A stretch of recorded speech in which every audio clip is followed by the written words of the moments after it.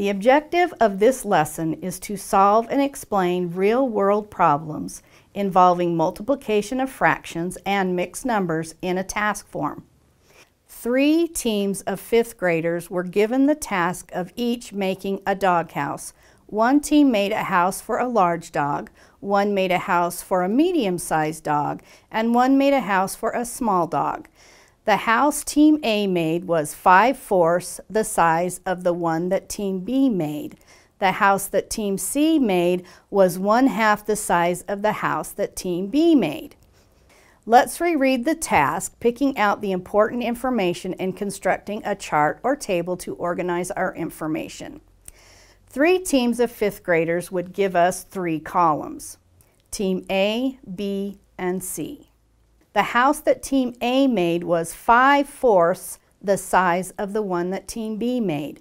The wording 5 fourths the size of means 5 fourths times B. The house that Team C made was half the size of the house that Team B made. In the third column, write the expression 1 half times B.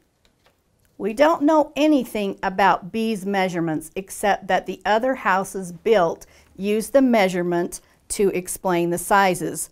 Put B in the middle column. If we give B the value of 2, we can then plug in the values for B and evaluate each expression. After we evaluate the expression, we can see that Team A's doghouse was the biggest, Team B was the middle size, and Team C was the smallest. Question number two of the doghouse task states, the width of Team B's doghouse was 3 feet.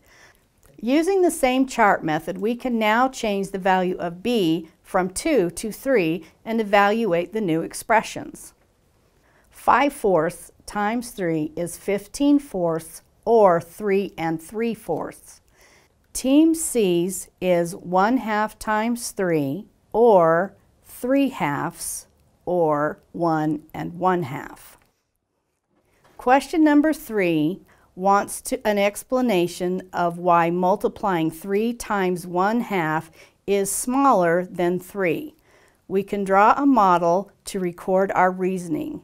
Using the area model, start with three rows because we have three wholes we will need to only use half of the column, so draw a line down the center of the column and label each side one half. Then color in half of the column. We have three one-half groups, or one and a half total, which shows our reasoning. Question four of the task states, the width of the opening of each doghouse can be one-third or one-half of the width of the doghouse.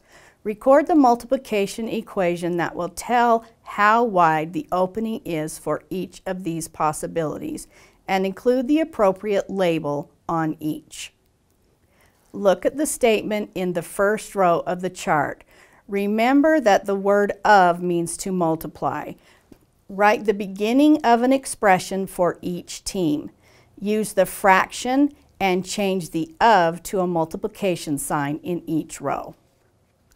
Then add the width from question 2 to the end of the expression. Team A's width is 3 and 3 fourths. Team B's width is 3. Team C's width is 1 and 1 half. Now let's evaluate the expression to find the width of each doghouse.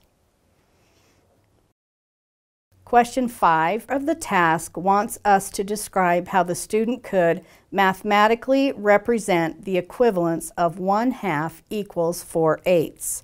If you multiply the numerator and the denominator by the same number, you create an equivalent fraction. By multiplying the numerator and the denominator by 4, we've created 4 eighths.